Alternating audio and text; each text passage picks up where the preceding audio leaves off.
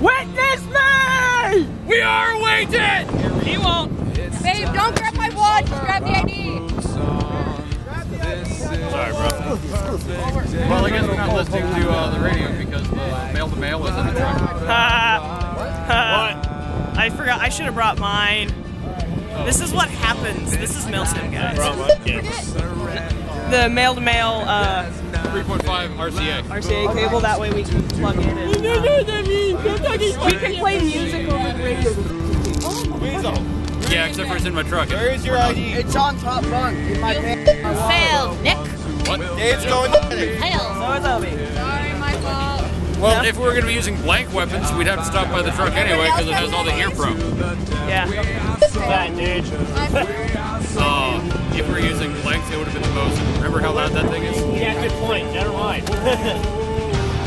Yeah, it's still louder than that 12 gauge that's set off next to you. That's also bad. How you feeling, Rabbit? Operator, Good. I feel like I have about 10 different cameras. A few weekends ago, even though it's only two. I was shooting out at uh, Goose right? I've got a I think fucking it's probably about condom. Sunday or some shit. Yeah, that's mine. It's, uh, That and nigger's Lexi, woman. And uh, we see a rabbit. She's like,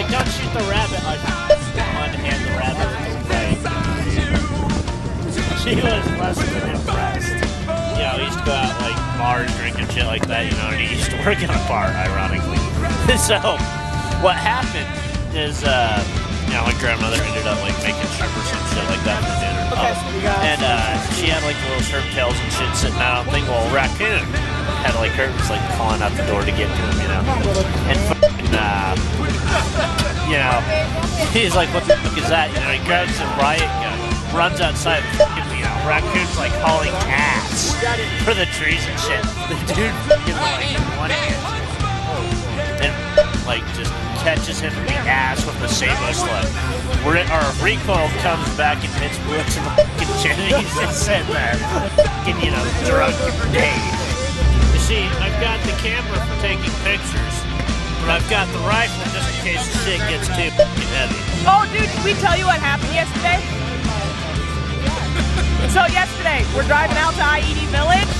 Well, Isaac missed a turn, and we were about uh, miles off course. no, we were about half a mile from the impact zone.